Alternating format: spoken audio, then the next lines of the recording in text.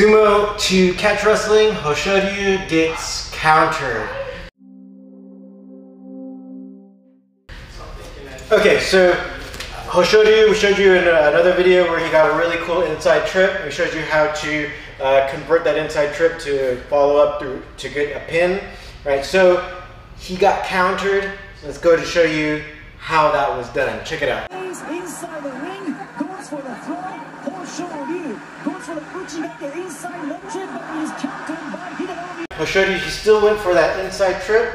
Right, excuse me, let's come over this way, right? So he's going here, but the, the position got a little changed, right? So instead of getting the double underhooks, right, his opponent got one under and one over, right? So, so Hoshoryu still tried to get the inside trip, right?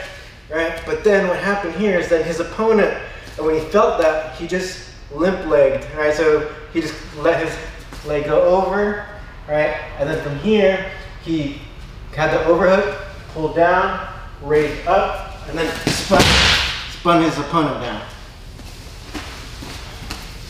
All right, so let's go and show from the other angle here. Actually, like this. All right, so I'll show you. Try relax your leg. It comes over, over, under. Right, so pull down, lift up, and spin. So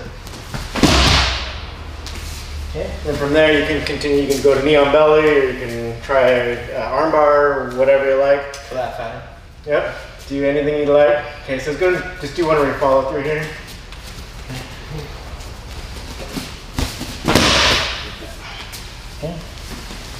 It can be that easy. All right, so go ahead and subscribe here. Check out more videos there. We'll see you in the next video.